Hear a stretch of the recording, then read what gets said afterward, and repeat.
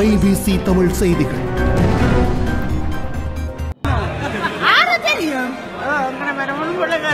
பரவாயில்ல நல்ல வெள்ளக்காரி சொன்ன மாட்டேன்.